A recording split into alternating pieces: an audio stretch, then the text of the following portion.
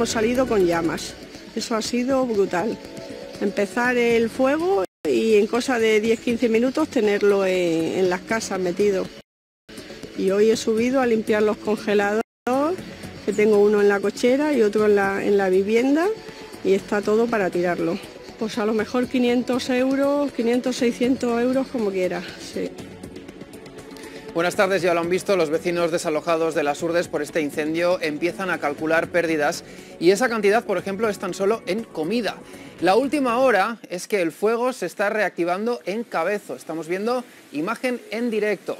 Ese fuego, como decimos, está quemando zonas que no había tocado. Lleva, ya lo saben, cuatro jornadas asolando esta comarca.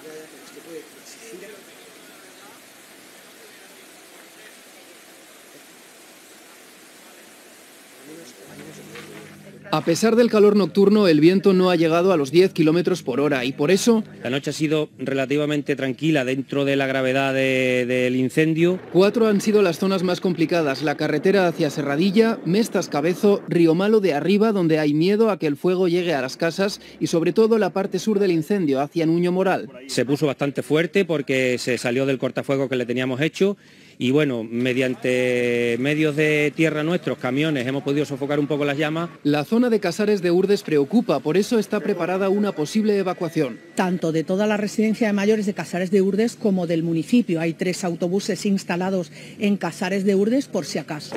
Los equipos de extinción no descansan ni por aire ni por tierra. La orografía es muy abrupta también, lo que te exige un esfuerzo físico importantísimo y con una intensidad de llama muy importante también. Entonces el trabajo es penoso, precario y muy duro físicamente. Hoy los efectivos han recibido la visita solidaria del Padre Ángel. Agradecer a, tantas personas eh, que están aliviando este fuego, ¿no? desde los bomberos hasta la Cruz Roja. Hasta el momento este fuego ha alcanzado unas 3.000 hectáreas extremeñas. Estamos trabajando para estabilizarlo de momento y la situación incierta porque las temperaturas pueden pasar de los 42 grados y hay previsión de tormenta seca. La situación podría complicarse. Ajenas al fuego, ellas.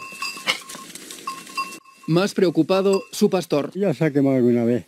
Si se quema no, no hay pastos para ella. Por eso espera que esta pesadilla termine cuanto antes. Otro incendio que continúa activo es el de Santa Cruz de Paniagua. Medio Ambiente y el Infoex mantienen el nivel 1 de peligrosidad. En la zona continúan trabajando medios terrestres, un agente del medio natural y servicios de bomberos de la Diputación. Además, durante la tarde de ayer hubo más incendios complicados, como el de Feria, en el que también hubo que activar el nivel 1, pero que se consiguió estabilizar. Los demás se produjeron en Fuente del Maestre, Castilblanco y Casar de Cáceres.